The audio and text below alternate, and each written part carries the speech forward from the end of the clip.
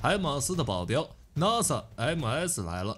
海马斯上场还没一个月的就立下了赫赫战功，九天的时间就炸毁了俄军十一个弹药库。之前 BBC 发了一个海马斯地图，整理了一下从六月二十八号到七月六号被海马斯攻击的地方，整整十一个标记，里面大部分都是弹药库和补给库，而且这还不是全部，还有一些未能记录的战绩。这也是为什么现在的俄罗斯会越打越吃力，而且俄乌战争到现在其实还是传统的战争模式，双方火炮对轰，谁炮弹多、补给多，谁就能占优势。结果，俄军现在弹药库和补给库被炸，这还拿什么打？所以，俄罗斯自然就把海马斯作为自己的第一目标。之前甚至还表示自己用空击精准武器摧毁了乌克兰两辆海马斯。火力军是不相信的，当时拍的热成像画面实在是太模糊了。不过，常在河边走，哪有不湿鞋？咱们也不能否认海马斯出现意外的可能。为了保证海马斯的安全，美国制定了下一个支援计划，打算把 NASA MS 防空系统送给乌克兰，补上乌克兰的最后一丝短板。之后的战场就是 NASA MS 提供防御，海马斯负责远程精准打击，可以说是所向披靡，彻底成为俄乌战场上的转折点。那么 NASA MS 到底有多强呢？与海马斯结合之后，如何改变战场？现在乌克兰最缺的就是防空系统。是的，你没有听错，缺防空系统。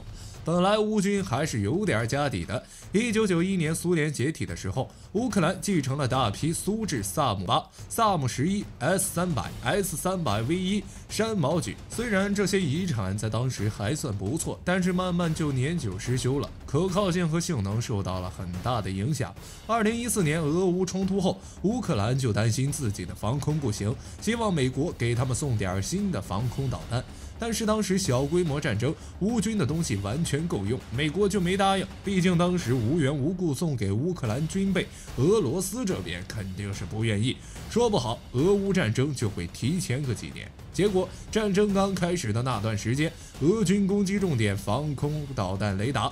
当时俄军各种反辐射导弹轮番炸完之后，巡航导弹紧接着就落地，乌军被打得一个措手不及，防空系统损失很大。毕竟乌克兰国土面积也不小，早期不少防空导弹系统依靠着自家纵深活了下来。为数不多的防空导弹，这些导弹可以说是用一发少一发，但也确实有不错的战绩。比如三月份俄军正在进行敖德萨的时候。其海军第三十四独立海军攻击航空团的一架苏三十 SM，就被乌军的 S 三百 PS 防空系统给击落，飞行员也被俘。但是从二月份打到现在，也损坏了不少。乌克兰 S 三百山毛榉、黄蜂等防空导弹系统被俄军炸毁了很大一部分，没了防空，乌军的高价值目标形同裸奔。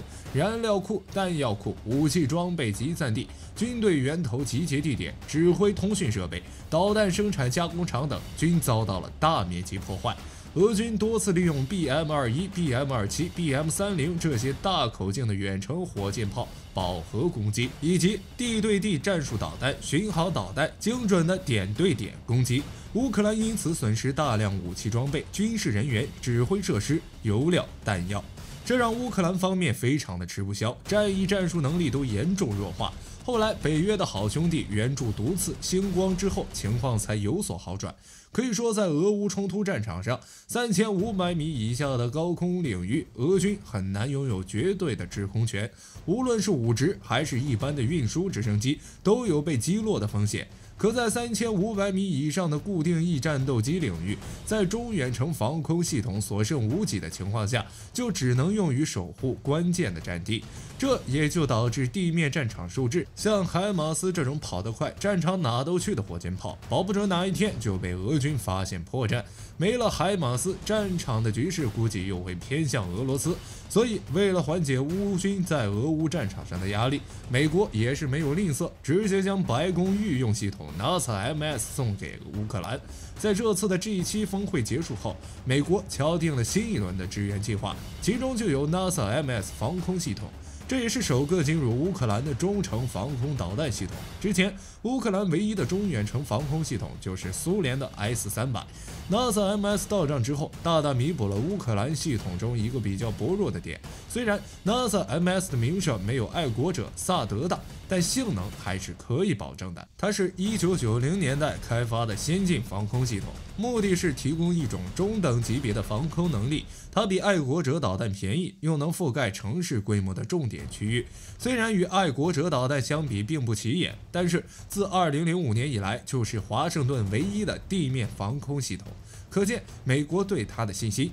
俄乌战争开始之后，乌克兰相当多的短程便携式防空武器系统，比如星光毒刺导弹等，这些系统对低空低速目标有很好的战场效果，但不适合保护大片区域。虽然乌克兰也获得了一些北约兄弟支援的 S 三百防空导弹，但发射车总数不过三百辆，加上战损数量不断减少，乌克兰的远程防空系统在保护重要资产和人口集中区域时已经力不从心。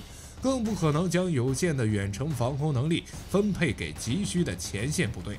NASA MS 系统正好填补了战场防空的空白。作为白宫御用武器，NASA MS 的性能可以说是一等一。不管是飞得快的战斗机，还是飞得高的轰炸机，或者说是巡航导弹、无人机，通通都是打击目标。二十五公里的射高加上三十公里射程，可以保护一座城市大小的区域内的高价值资产和密集人口免受空中威胁。NASA MS 系统抵达乌克兰之后，俄乌战场的空中优势就会逐渐向乌克兰兄弟偏移，到时候乌军的地面部队就会受到保护，空军也有机会腾出手打击俄国的地面目标。最主要的一点是 NASA MS 系统的成本低，在装备数量上也能满足乌军的需求。虽然是美国支援的，但是 NASA MS 系统的名字却是挪威的。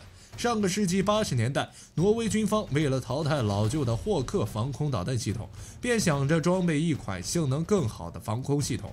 但是，挪威国内的军工企业没有研发先进防空系统的经验，于是 NFT 公司就找上美国的休斯公司合作，采用移植的办法，将休斯公司刚研发的 AIM 幺二零空空导弹以及发射导轨整合在六连装式发射装置内。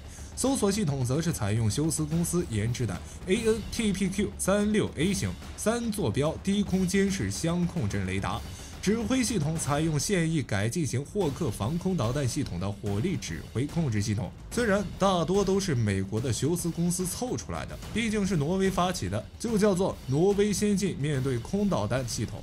只是后来，美国休斯飞机公司下属的航天和防务分部被雷声公司收购，挪威 NFT 公司也被本国军工巨头康斯伯格公司收购。研发速度就慢了下来。不过，这两位新东家也没有抛弃 NASA MS。最终，1998年，NASA MS 进入到挪威服役，后面还经过了多次升级。虽然是拼凑版本，但性能可不低。毕竟有 AIM 幺二零的底子在，射高能达到二十五公里，最大射程三十公里。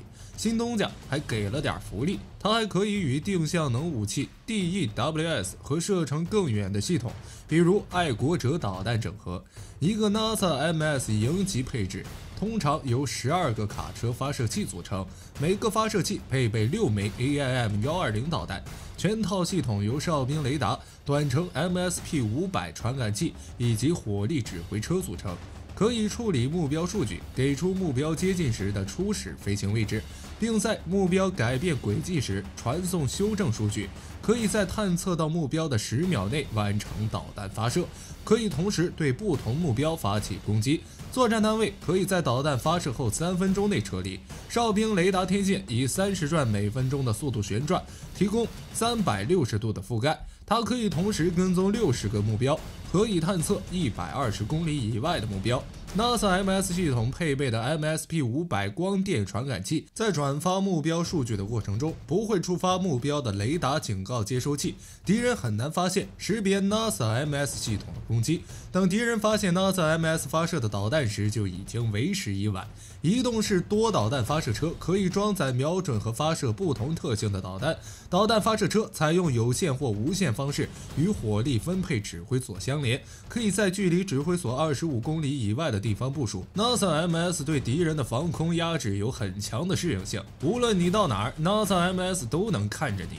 NASA MS 的多导弹发射器可以发射 AIM-9X、AIM-120 和 RIM-162 导弹。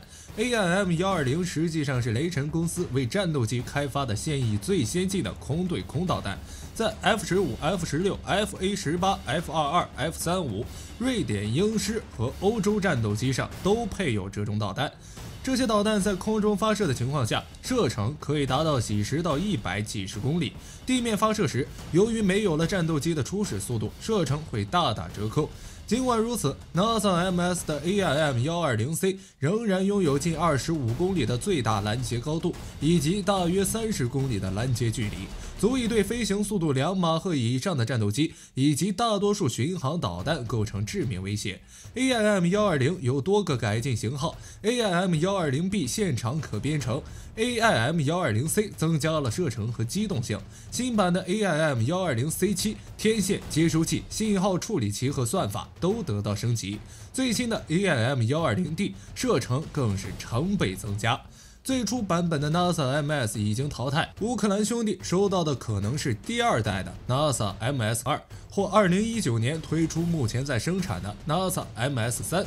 NASA MS3 适配更多种类的导弹，为了能有效地对付三公里以下高速接近的低空目标，它可以发射超机动红外制导的 AIM-9X 和同类的德国 IRIST 导弹，其有效射程分别为十和十二公里。由于这些导弹的高敏捷性，可以提供高质量的近程防空能力。